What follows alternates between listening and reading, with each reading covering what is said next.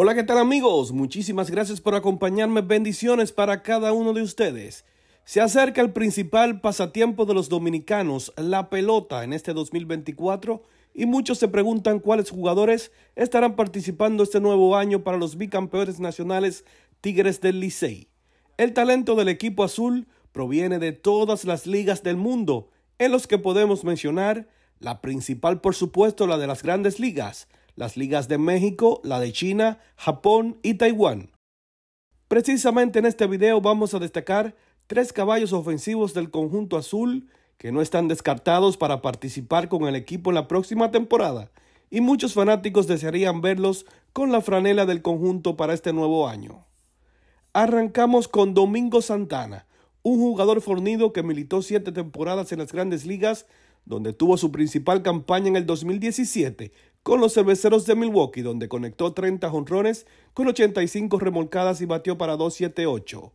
En la actualidad, Santana está jugando en Japón, donde es líder de bateo en la Liga Central, con un sólido promedio de 318 con 14 cuadrangulares y 59 remolcadas para el equipo de las golondrinas de Yukut.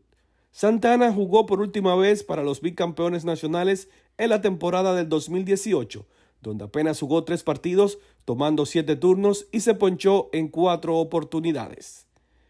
Hablando de buenas actuaciones, debemos mencionar a Mel Rojas Jr., quien está en Corea del Sur, donde el jardinero de los Tigres tiene un sólido promedio de bateo de 331 con 110 carreras remolcadas para el equipo del Katewix en esa liga coreana.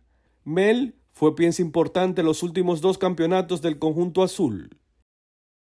Here's the pitch. Conecta batazo de hit. El corredor en tercero viene para la goma.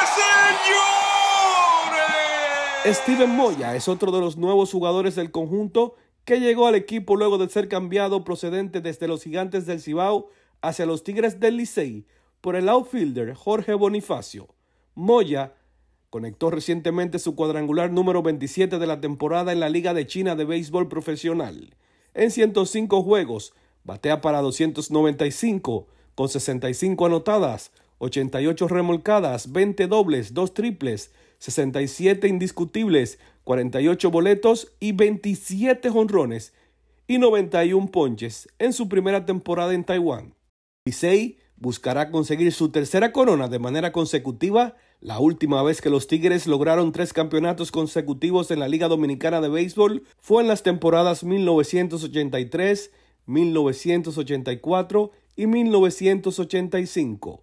Durante esa época, el equipo tuvo una racha impresionante y dominó el béisbol de principio a fin.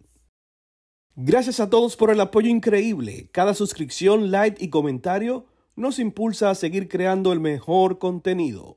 Bendiciones para cada uno de ustedes. No se muevan.